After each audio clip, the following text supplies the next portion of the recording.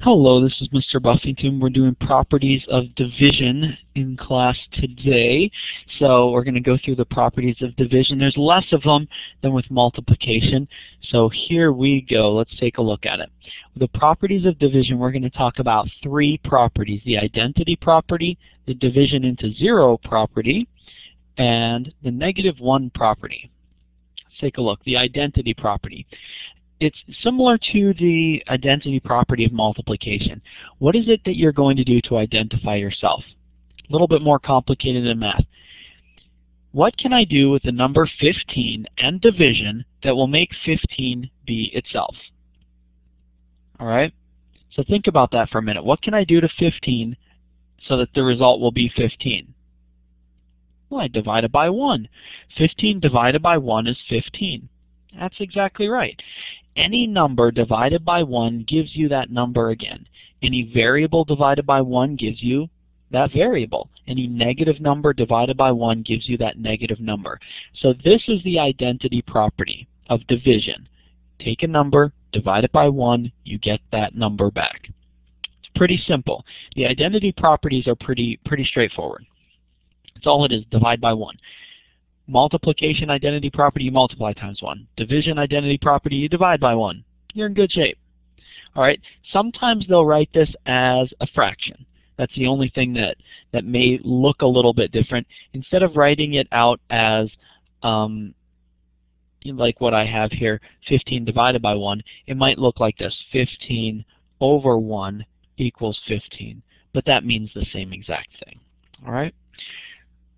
Next property, the division into zero property of division. Hmm.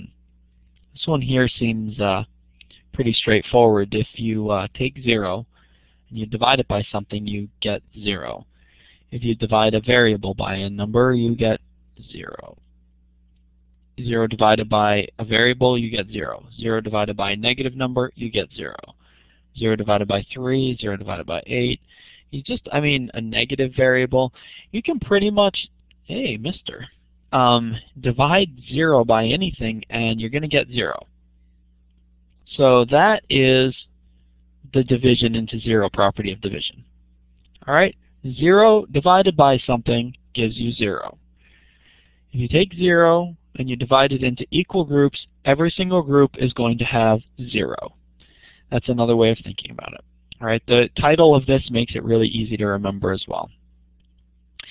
Okay, last property of division, the negative one property of division, which um, seems pretty straightforward as well. You're going to divide by negative 1.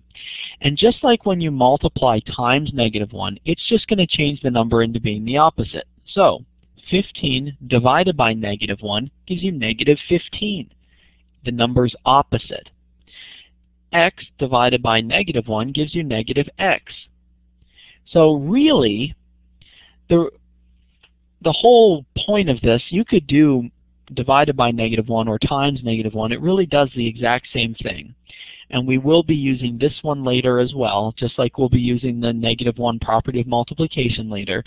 But we'll be using it basically in the future to get rid of negative fractions, or negative variables, to get rid of negative variables.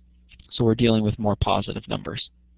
All right, one last property, and you must memorize this property word for word if you ever want to pass my class. This is the um, Mr. Buffington's I'm tired of all these properties property, and this is how it goes says, when I see all this vocabulary, I start to worry that I've entered into an English class where they use long words to represent something that can be shown simply using a variable or a symbol that drives me absolutely nuts because in math I can write what I want and nobody would tell me that it's too short or too long. Like right now I'm writing a really long sentence that needs a comma or two and that's okay because it's math class. Have a great day everyone.